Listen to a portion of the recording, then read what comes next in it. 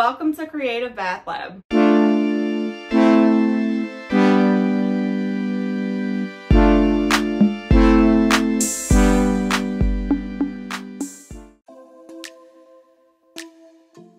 I'm going to show you the easiest way to make whipped soap. It's called whipped soap, but this fluffy soap doesn't require any whipping or a lot of work or many ingredients for that matter. Only two ingredients are needed to make the soap itself. It's beautiful, easy to make, and produces a ton of suds, foam, and lather.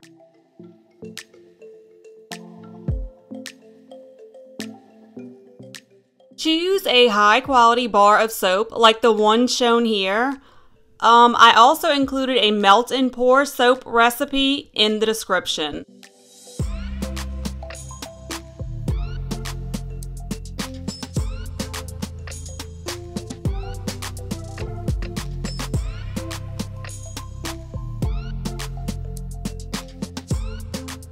The SCS is optional. It adds additional foam and lather.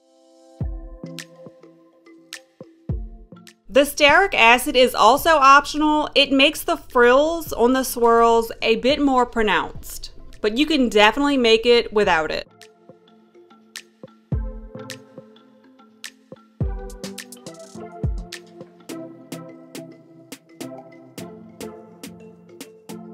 Boil the soap for a few minutes to make sure everything is dissolved.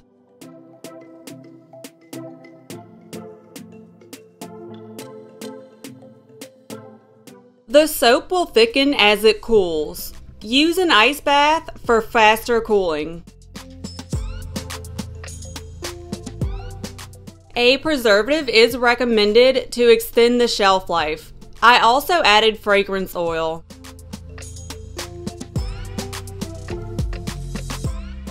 The soap should be really thick once it's fully cooled, so thick that if you turn the spoon, it doesn't fall off, it just stays in place.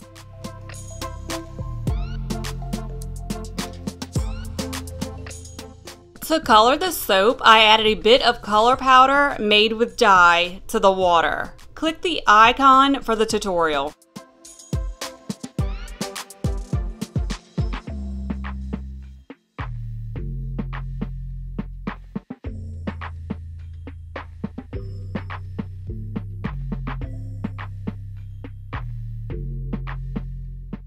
To make multicolored swirls, layer a small amount of each color on top one another in the piping bag.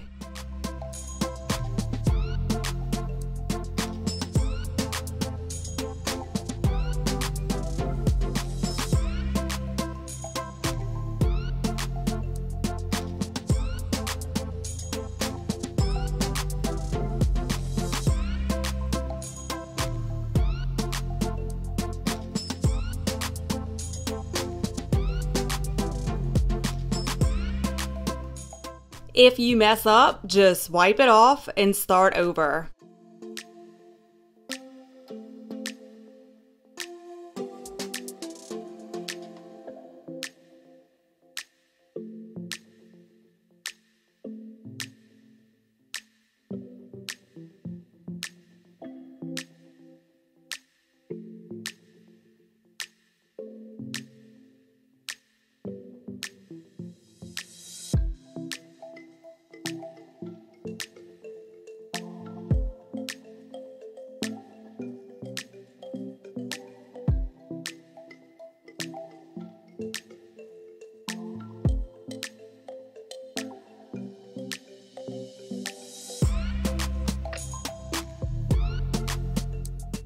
I'm using cotton candy eco-friendly glitter from Fizz Fairy. This stuff is beautiful. I feel like I could put on anything and everything.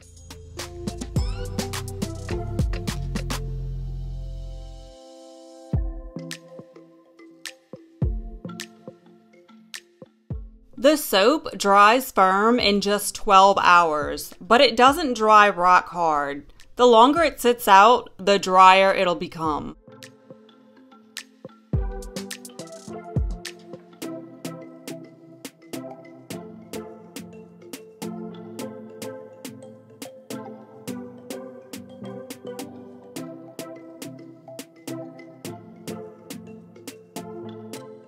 Okay, so initially I just wanted to make soap that could be piped. I really wasn't concerned with performance or anything but I was absolutely blown away by how great the soap works.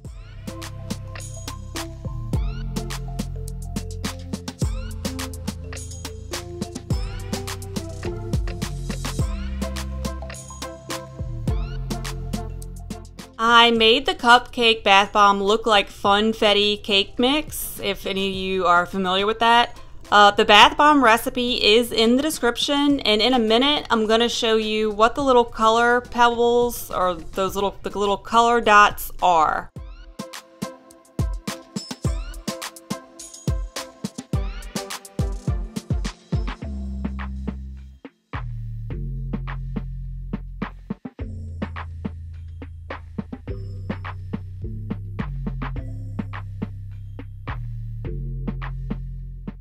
To make this a bubble bath frosting recipe, simply add 1 to 2 ounces of SLSA or a different bubble maker to the recipe.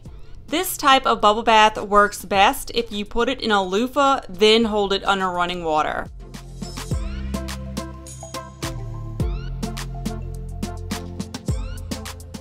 This is the ice cream mold. It is super easy to use. It is linked in the description along with uh, a 10% off discount code. If you'd like to see a tutorial on it, please comment below.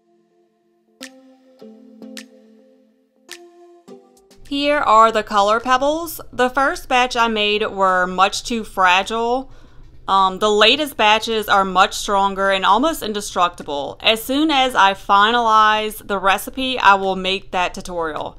By the way, I can't decide on a name. I was thinking color pebbles, rainbow rocks, or color pops, you know, something cute and clever. Which one do you think works best? Or also, if you think of a name, comment below. You can even make a body scrub base with this recipe. To do so, simply add more water and or less soap. Then add exfoliants. Which one is your favorite? I think the ice cream cones are too cute. The only issue would be packaging them. For this project, I definitely recommend buying the containers with lids. Those are also linked in the description. Thanks for joining me.